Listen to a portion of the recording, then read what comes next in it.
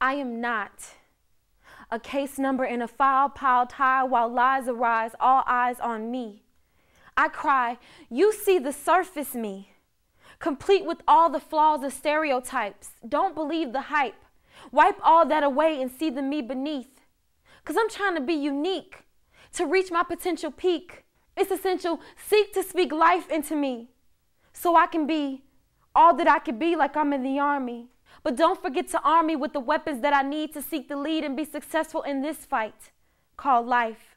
Because the battle's my mind, to redefine my mental. And my credentials don't exactly qualify me to be labeled as essential to society. But you can help me, change me, raise me up. Because this phase is up. Yeah, I was a foster child, so what? At some point, I must grow up and show up at graduation where I wear the cap and gown. While others nap, I'm crowned the queen of my destiny, defying the critics, outlasting the misfits, and not falling victim to statistics, realizing that I'm rising. Despising failure, no compromising, sizing up the lies and realizing that all of that must die because it's too heavy to carry with me.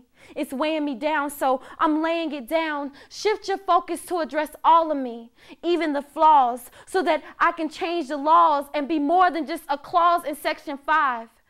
I will arise. I will survive. Address me as the greatness that I am. Don't label me as crazy or assume that I'm lazy, because I'm not asking you to praise me. I'm just asking you to raise me up.